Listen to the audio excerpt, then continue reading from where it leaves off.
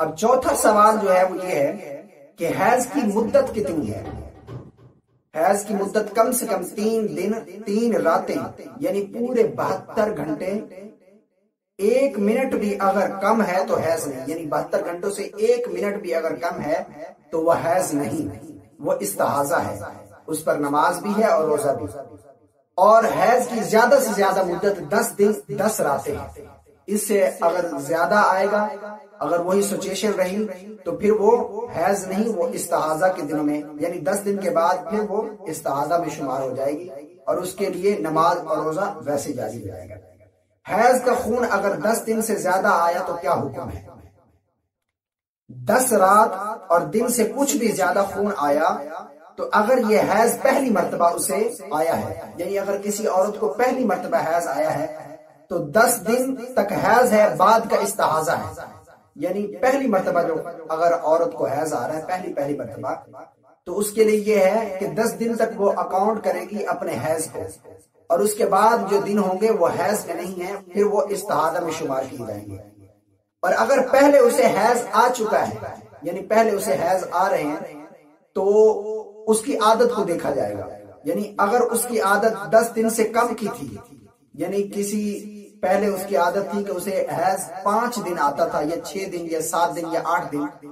تو اس کی عادت جتنا تھی، اس سے اگر زیادہ ہوا تو استحاضہ ہے۔ اسے یوں سمجھ لیں کہ پانچ دن عادت تھی، لیکن اب آیا دس دن۔ یعنی پہلے پانچ دن کی عادت تھی حیض آنے کی، اب آ رہا ہے دس دن۔ تو کل دس دن حیض ہے۔ اگر دس دن سے بڑھ گیا یعنی پانچ دن پہلے آتا تھا اب جو ہے نا دس دن آ گیا اس ماہ میں، تو وہ دس کے دس ہی جو ہے کل حیض کے دنوں میں گنے جائیں گے۔ اگر دس دن سے بارہ دن ہو گئے، تو پھر جو ہے نا وہ حیض نہیں گنتی جائے کیا جائے گا۔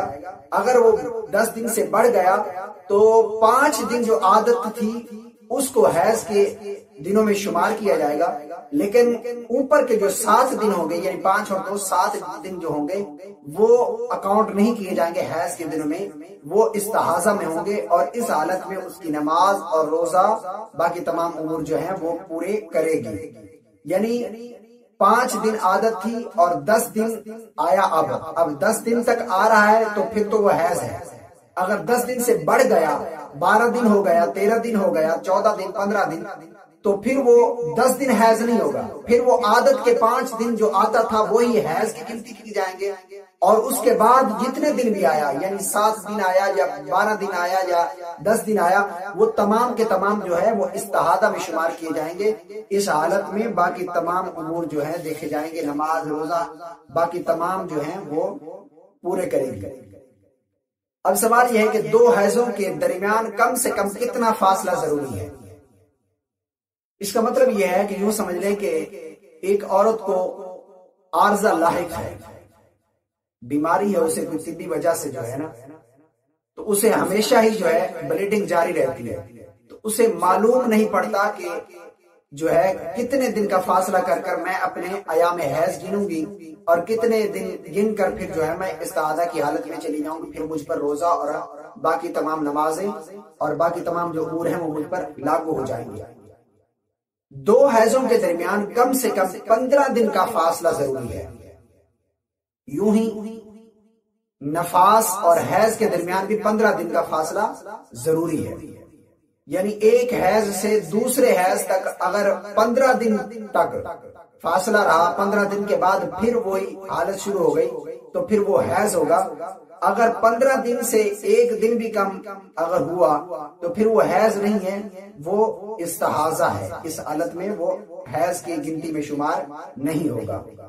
اسی طرح نفاس یعنی بچہ، بچے کی ولادت ہوئی، اس کے بعد جو عورت کے مخصوص ایام ہوتے ہیں جب وہ ان سے طہارت حاصل کر لیتی ہے، اس کی سے طہارت حاصل کرنے کے بعد پھر وہ اگر پندرہ دن سے پہلے اسے کوئی ایسی سچویشن نظر آ جاتی ہے تو وہ حیض نہیں ہوگا، وہ استحاضہ کے دنوں میں شمار ہوگا۔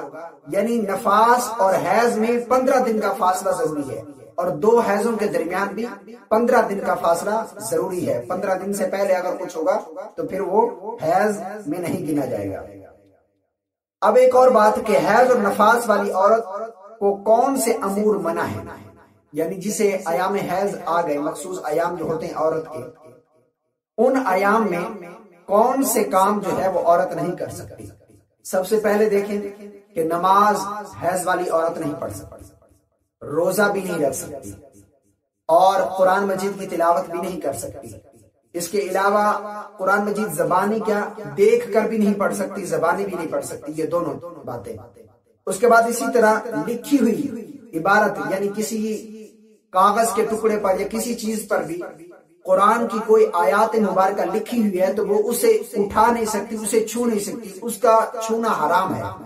اور مسجد میں داخل ہونا بھی ایام حیض والی عورت کو حرام ہے۔ بیت اللہ کا طواف کرنا بھی اسی طرح منع ہے۔ حرام ہے اور اسی طرح ہم بستری جمع کرنا بھی حیض والی عورت پر حرام ہے۔